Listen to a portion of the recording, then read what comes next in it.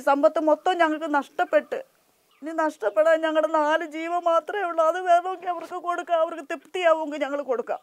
ആരും കാണുന്നില്ല. ഞങ്ങളുടെ കരച്ചിൽ ഞങ്ങളുടെ വിഷമവും ആരും അനങ്ങുന്നതില്ല അറിയുന്നതുമില്ല. അവർ ഞങ്ങൾ അനങ്ങ. ഞങ്ങൾ എന്തോ ചെയ്യണമെന്നും പറഞ്ഞ് ദിവസവും ഞങ്ങൾ കഴിഞ്ഞു വിടുക